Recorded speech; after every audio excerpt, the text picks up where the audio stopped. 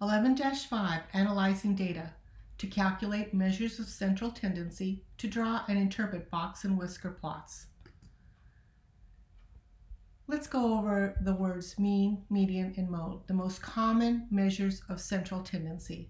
The mean is the sum of the data values divided by the number of data values. So for instance, in this example, we added all the numbers and then we divided by how many numbers we had to get four. The median it, for a data set in order is the middle value for an odd number, and it's the mean of the two middle values.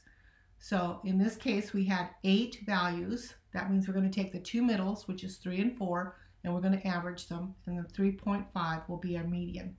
Our mode is the most frequently occurring value, and in this case, there are two. Let's take a look at um, a frequency table in which we have multiple amounts of job offers. So two students had zero job offers, two students had one, four students had two job offers, and so on. So we're going to take these frequencies, we're going to multiply by each number, and we're going to add all those values up and um, divide by how many students there were altogether. And there were 15 students altogether. So the mean is 2.2. So uh, on the average, students got offered 2.2 job offers. If you arrange them in order from small to large, the very middle score was 2. And there, the most number of uh, job uh, offers was 3, and 5 students had those, so that would be the mode.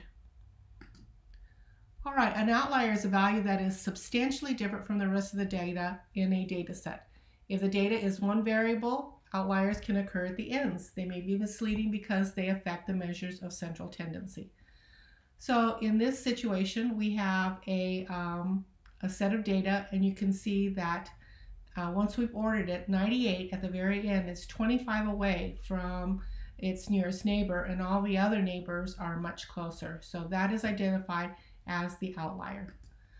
Let's take a look at this. Identify the outlier in the data set and then find the mean, median, and mode of the data set when the outlier is included. Okay, so um, I need to go into my stat and I need to uh, edit it. I've already included in this first one um, a lot of the data, but I do need to add uh, one number and that is, uh, I think I forgot the 376. Okay, 376. All right, and so I just enter it. All right, so we need to, to, in order to figure out the outlier, a lot of times it's a good idea to sort your data. So to sort your data, you would go into stat, and then you would press 2, because that's going to sort. And we want to sort a uh, list 1, and so I'm going to press second, and key number one, because above it it says list one, parentheses, and then I press enter. Now the data is sorted. Let's go over to the uh, stat and then enter. And you can see that the data sorted small is seven, then it gets larger and larger and larger. Now, uh, it looks to me like the outlier is not the seven, because seven is, um, the difference between 51 and seven is uh, 40 something. But the difference between 229 and 376 is over 100. So I can see that's my outlier. So we'll identify the outlier as 376. Okay, now it's asking us to find the mean, median, and mode. And to do that, we're going to go to STAT, and we're going to go to uh, Calc, and we're going to go to one variable statistics, and we're going to look at list one. That's where all our data is, and then we're going to press calculate. Now you can see at the very top is the um, mean. That's x bar. x bar is mean, so that's our mean. And our median, if you just go down, it says MED, and that's median, and that's 156. Uh, I don't think there's any mode because I don't think any of these values repeated themselves. Now it says for us to remove the outlier, so I'm going to go to Stat, and I'm going to go enter. And then I'm going to go down to the very last value because that's the outlier. And I'm going to uh, uh, get this and then I'm going to delete. And now I'm going to do it again and run all the stats again. So I'm going to go to stat, go to calculate, one variable stats, and then go down to calculate and enter you can see that this mean is different from the previous one. It's a lot smaller because I don't have that bigger number there anymore. And if I go down here, my me median has changed to 140. And again, I don't have a mode here. All right, so hopefully you got the idea there. Okay, the range of a set of data is the difference between the greatest and least values. And then we like to kind of divide the data into force. And what we do is we first find the very middle, which is the median, and then in the first half, we divide it in half, and that first part is called a quartile. And then on the other half, we divide it up, and it's also called another quartile. So uh, let me go ahead. Here's the numbers in order from 62 to uh, 86. The median, the very middle score, is right here. And then we take this list of numbers, these numbers, these six numbers, and we find the very middle, and that'll be 84. And then from this six numbers, we're going to find the middle, middle number. And so that's quartile 1, quartile 3, quartile is 4s. The interquartile is uh, the range from quartile 3 uh, to quartile 1 and range, smallest to largest, maximum, minimum, modes. All of these are important. Okay. Sometimes it's better to, instead of just listing the numbers, to put them into a graph, and that's called a box of whiskers graph. And the box and whiskers graph will indicate the, the uh, median, and that's what this is, the median. And then it'll indicate the minimum and the maximum. The quartile will be here, now this is the box part, and then this is the what we call the whisker part. And then here's the other quartile. So this is what we call the interquartile range, so from here to here. And then the whole range of the whole data will go from here to here. So it kind of gives you a value without you having to list everything. All right, so let's take the same data uh, and uh, I'm going to, uh, it's going to be in my calculator already. I'm going to go to stats and then enter. And I want you to notice that list two is all of that data on the um, uh, temperatures here. So I'm going to create a box and whiskers graph for you. So what we do is we go to uh, second stat plot and then we press enter. We get into here and we're going to press uh, on. So our plots are on and then we're going to go over here to box and whiskers, press enter so that it highlights that. And right now the data I want is in L2. L2 is right here, right above the key number two. So I press second two. And I'm gonna check my Y equals. And I am going to clear that because I don't want to see that. And uh, so now um, I'm going to press zoom.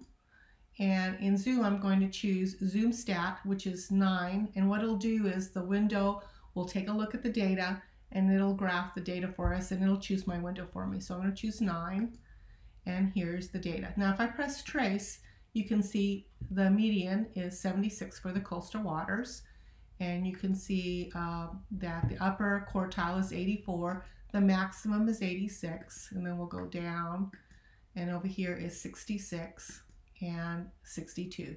Now these are all values that they gave us in our stats when we ran the um, one variable statistics. But now we have a visual look at it. Um, all right, let's go on to the next one.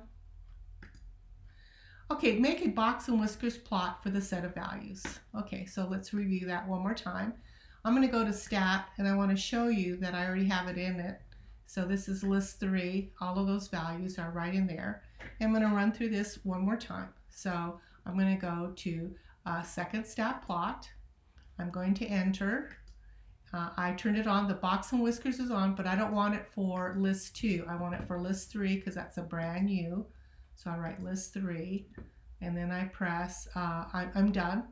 And I can just press zoom and let the calculator decide the window. Press nine and there it is. Now if I press uh, um, trace, you can see that my median is uh, 15. My first quartile is 12. My lowest value is 11. My third quartile is 19 and my highest value is 20. So the calculator can help you find all of these. Okay, we want to find percentiles. Here's an ordered list of midterm test scores for a Spanish class. What value is the 65th percentile? In other words, what is the number in all 65 uh, pe people who had test scores will be underneath that. So of the 20 values, 65% falls at or below the value of the 65th percentile. Okay, so we're going to take 20 and we're going to times it by 65. And when we get that, that's 13. So we have to go to the 13th number. One, two, three, four, five, six, seven, eight, 9, 10, 11, 12, and 13. So this is the 13th score from the bottom, and that is um, the uh, at the 65th percentile. So in other words, 13 values fall at or below the number 82. Okay, let's take a look at this and try again. We're going to uh, have to uh, order these before we even try to figure out the 25th and 80th percentile. So before I do that though, there are, uh, let me see, 1, 2, 3, 4, 5, 6, 7, 8, 9, 10, 11, 12, 13, 14, 15, 16, 17, 18, 19, 20. So there are 20 values. And uh, when I times that by uh, find the values of the 25th and 80th percentiles. So I'm going to times that by 25%, uh, and 25% is just one-fourth. So 20 times one-fourth is 5. So I'll go up to the fifth number to get the 20, 25th percentile, and then 20 times 80% is just going to be 20, and 80% is 4 fifths. And then when I 4 fifths, that's just going to be 16. So the 16th value will be at my 80 percentile. Okay, so let's go over here. Let me go ahead and press stat and press enter. And you can see over here on L4 is uh, all, are all my values there. So I have to get them in order. So second quit, and then I press stat, and I want to press sort, so it's two and I want to be for L4, and L4 is above the 4, so second 4. I need to order this before I can count. And then so we enter, it's done, go back to stat, enter, and now they are in order. So I'm looking for the fifth value, one, two, three, four, five. The fifth value is three. So the 25th percentile is that. And then for the 80th percentile, I'm looking for the number at the 16. And if I look carefully, it'll say 16, and that is 16. 16 happens to be at the 80th percentile.